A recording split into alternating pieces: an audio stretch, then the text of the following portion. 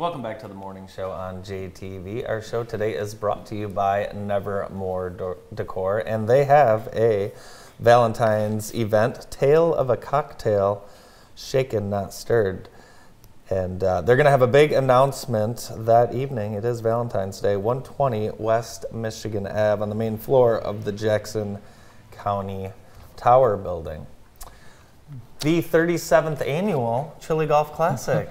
Forgot to tell you about that. That is coming up as well. And uh, it should be, uh, well, we got snow for it, so that's wonderful. Hankerd Hills, you can do nine holes or 18 holes, includes chili, hot dog, and uh, brat. I remember going to my first chili golf classic. I was probably 15 or 16, and I won a. Do you remember the beer Red Dog? No. Brandon? Yeah. yeah, I won a Red Dog sign, Oh, wow. and it was cool. So that was. Our uh, first guest on the show today is the manager of our fine city, Jonathan Greene. Good morning, Jonathan. Good morning, boys. Morning. How are you doing? Exciting time to be the city manager. I mean, when is it? No, but really exciting. Really exciting times. Re- really exciting. Very, very, very exciting. So the big news is uh, the Hayes. I, hadn't heard anything. Uh, you've been obviously working on this uh, a ton.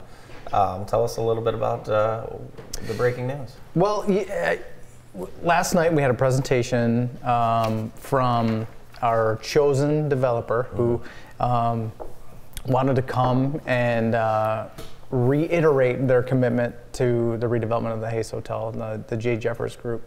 Um, they're out of Milwaukee, uh, tons of experience in historic rehabilitations. Yeah. Um, it's very exciting. It's a long process for sure. And we initially um, met with them in April and decided that they were the one for us, and they, you know, this project was the one for them. Um, it's you know so many months have passed. They've worked really hard at developing their own plans. Architecturally they're almost uh, you know getting ready with some schematic designs. Working with the state of michigan to get some incentives lined up that's been the longest process. Um, but we're talking about a $30 million redevelopment project. So these things don't happen overnight and they don't happen in a month. It takes a lot of time um, to get done. Something like this you know, this kind of redevelopment nationwide um, not to, like a handful of these type of deals. And so now it's our time. Um, after I don't know how many years and years and years of working at this. The uh, founder and president of uh, JJ Jeffers, Josh Jeffers, is going to be on our show this afternoon. So tune in for more details. He's got more plans for Jackson yeah, after the Hayes. That's yeah, that's great. It's just the beginning. Yeah. What did they think of uh, our town? Obviously, they've been here a few times. Yeah. It's different every time. What, what are they? Uh, what are they saying about Jackson? You know, if you, if you watched the city council meeting last night, the the representative Brian um, talked about their experience in different communities where they're usually the first ones through the door. They're usually doing that big signature development that sparks a redevelopment of an area. And here we've done it backwards. The long ago, the city set the table. Um, with its reinvestment in downtown Jackson, you know, Michigan Avenue being rebuilt, streetscape design, um, infrastructure, things like that, set the table for this. So they're saying, you know, they're saying this is really great. Um, they know based on the investments we've made here that they, you know, will be almost guaranteed success because you know we, we were the first ones to sink a shovel in the ground and say we're going to do things differently here. We're going to make this better, and now we're, we're all benefiting from it. Um, it's really it was really good to hear that that they're used to kind of being that catalyst, and now we are the catalyst, and they're going to put the cherry on top with the Hayes. When uh, Jonathan first came to Jackson as Downtown Development Authority Executive Director, the first week on the job, he took this big plywood sign uh, and put it in the window at the Hayes. Uh, development opportunities, uh, building for sale, and really this. And I think since that was uh, one of the first things that the city, the community wanted you to work on, to have it at this point where it's it's coming to fruition. Yeah. That's got to be very personally satisfying for you. Well, I mean, it's taken me forever. So I'm sorry it's taken me this long 13 years to do. And we're not even there yet. Um, still a lot of work to do. But yeah, you're right, Bart. It is satisfying to know that we've finally have someone on the line who's as committed to the project and as committed to the community as as we are. And Jay Jeffers, um, I think because of their experience, because they love big old buildings, they love communities Yeah. like Jackson who have these gems. I remember walking uh, through that building with you a few years ago uh, when we had some tours, and uh, it's it's amazing the potential, obviously, and people who have. Uh, there's a lot of people who have never set foot in that building. There's a lot of people who uh, maybe their parents or grandparents did, and they've heard stories or seen pictures. It's a grand, uh, huge, wonderful, wonderful building. And for me, that's what it's about. I mean, I learned, I heard a new story today about the Hotel from Karen. I didn't know any of that. But when you talk to people about it, I met my wife in the drum room. I Yeah. got married. I we used to do this. There was, do you remember that? The, the wrestling in that room. And then I worked, oh, you speaking of tours, take people through it. Yeah, I, up on the fifth floor with, with the person, like, I used to work, I used to work in that office. Yeah. And you're like, that hotel room? Like, well, it was an office back then. And the menu at the restaurant there, I remember seeing that, and it's amazing. They had everything. You could literally order anything you wanted, liver and onions to. I think a I think a, I think a fillet that? It was popular I think a fillet was two dollars and ninety nine cents, and that was the most expensive thing on the item or on the menu. But they had Wow. everything, yeah. everything. And Yeah. there again. the uh, developer is uh, actually the owner of the building, so they're going to be uh, filling the.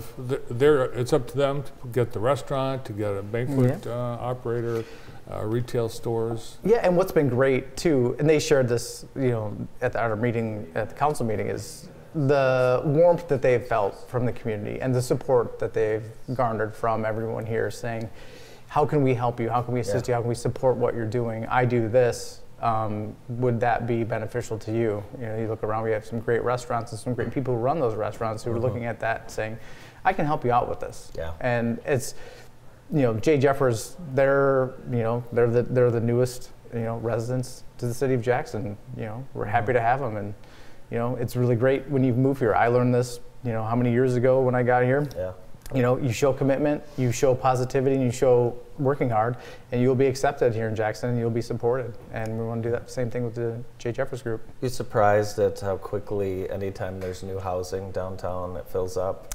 It's Uh, I'm not. Yeah. Uh, because when I first started, there were about two dozen living units downtown, and everyone kept saying, if you just build some more, we Yeah. will fill it up. And true to everyone's word, it's happened happening. Of course, we've done some studies and Yeah. commissions and things like that that, that clearly demonstrate the need for it, and we could soak up even more than we're getting. And yeah.